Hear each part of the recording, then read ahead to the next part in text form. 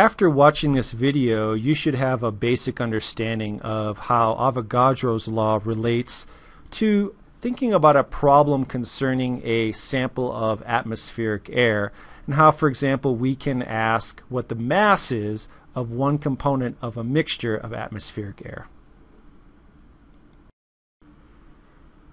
If I have these two tanks, each containing a gas, and it turns out that the two containers have the same temperature, they have the same volume, and they measure the exact same pressures, but the two gases are different, I can assume under these conditions that when the temperature, volume, and pressure conditions are the same, that the number of gas particles in each container are equal to each other. In other words, I can also assume that the number of moles of gas in each container are equal to each other. This is called Avogadro's law. And by the way, this is how we deduce the relative mass of two particles when we went through this exercise in class.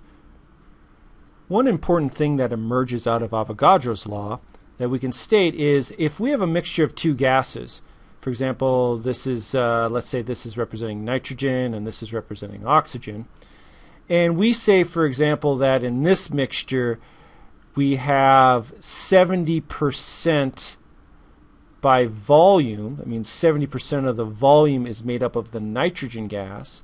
And we have, therefore, 30% of the volume is made up of oxygen gas here. We can also say that these percentage by volumes are equal to the percent by mole values of each of the gas. What that really says is that if we know the total number of particles, for example, and it's 70% by volume nitrogen, that also means it's 70% of the total particles are nitrogen particles or nitrogen molecules, and 30% oxygen molecules. So the percent by volume can be assumed to also be the percent by mole. That's Avogadro's hypothesis.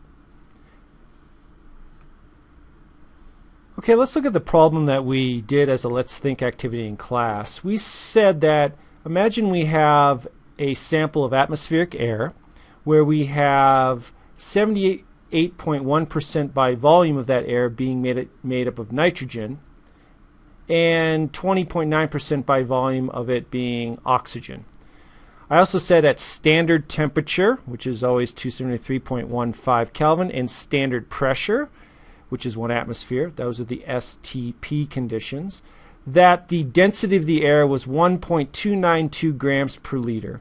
And based on this composition, the average molar mass, or the molar mass of the air, was 28.97 grams per mole. That means one mole of this air mixture weighs 28.97 grams. The question I posed was what was the mass of nitrogen in one liter of this air? And so to work this out, the first thing we're going to do is take advantage of Avogadro's hypothesis. And I want to draw two boxes here, illustrate this.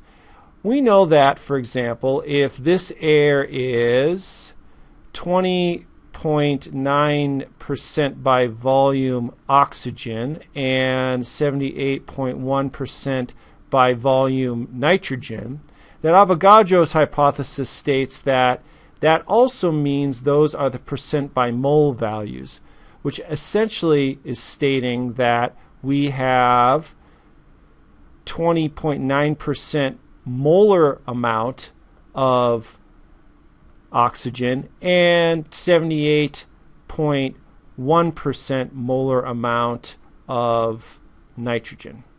Something like that in terms of proportion of, for this microscopic representation. Okay, Let's work through the math now. If I have one liter of air, I can figure out the mass of that air by multiplying it by the density of air under the conditions I stated.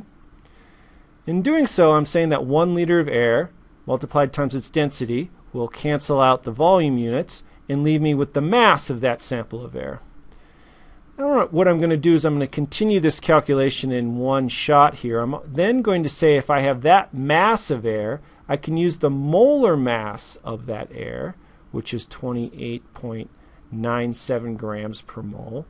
set up an equation to cancel out the mass units, and thus what I've done is converted the volume of air to the moles of air that make up that volume. And in this case, I get 4.460 times 10 to the minus second moles of air. Okay, now I'm going to take this value and using Avogadro's hypothesis, I can state that 4.460 times 10 to the minus 2 moles of air times the percent by volume, which is also the percent by moles of nitrogen, will tell me how many moles of nitrogen I have in that total mole value of air. In this case, I get 3.48 times 10 to the minus second moles of nitrogen. Now what I can do is I can take that moles of nitrogen and convert that to mass of nitrogen by multiplying that value by the molar mass of N2.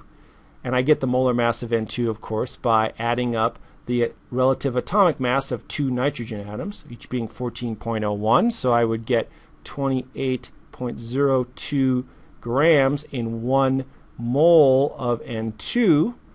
This converts that mole value of N2 to mass of N2, and I get, as my answer, 0.976 grams of N2 in a one liter sample of air under the composition conditions I gave in the problem.